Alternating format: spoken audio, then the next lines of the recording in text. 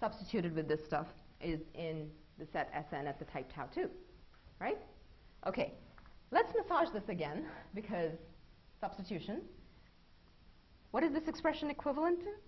Could we write it in a different way? Notice that this is just equivalent to take gamma applied to E and then substitute V1 for X. Right? Okay. So we already have this fact. What did we want to show? I think it's kind of warm in here and people are getting sleepy. I'm getting warm. Here's what we wanted to show. Here's what we have. We're done.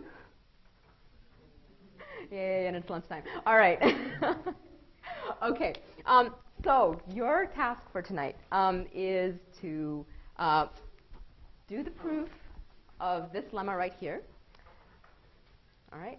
Um, that membership in the logical relation is preserved by forward and backward reduction. And I want you to sit down in a quiet space and prove this lemma for yourself. Just, just a, a lambda case is sufficient. All right? But step through the details and see where we went back and forth and you know, where things followed from the definition, the induction hypothesis, etc. All right? Logical relations are basically like this They're sort of like this puzzle. I mean, you, you fit them in in just the right way. You get the definitions exactly right.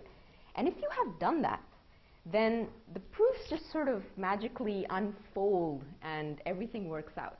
But getting the definitions right uh, so that the proofs follow is really the whole art here, right? And then understanding how those, yeah, understanding basically how the definitions lead to the proofs is the thing that I want you guys to understand so that you can set this stuff up for yourself, all right? Okay, um, tomorrow we'll, we'll continue with um, type safety, and I'm going to throw a very different notation at you.